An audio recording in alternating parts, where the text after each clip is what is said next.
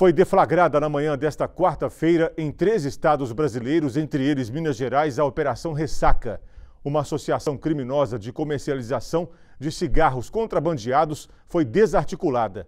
Uma das cidades onde a ação foi concentrada é Coronel Fabriciano, no Vale do Aço, e a gente conversa ao vivo com o repórter Lucas Alves, que tem outros detalhes dessa ação. Ô Lucas, boa noite para você. Ei, Saulo, boa noite para você, para quem nos acompanha ligado no MG Record. Bom, esta operação é desenvolvida pela Polícia Federal com apoio da Polícia Rodoviária Federal e a Receita Federal no dia de hoje.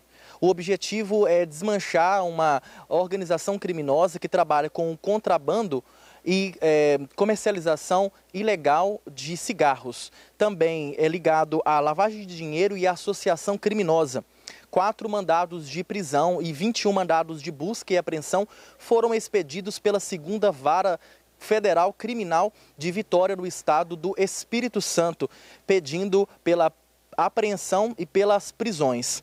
É, agora a polícia realiza os trabalhos e dentro das diversas cidades é, mineiras, a cidade de Coronel Fabriciano está inclusa para poder atender também este espaço onde que ocorre a operação desencadeada pela Polícia Federal, a Operação Ressaca.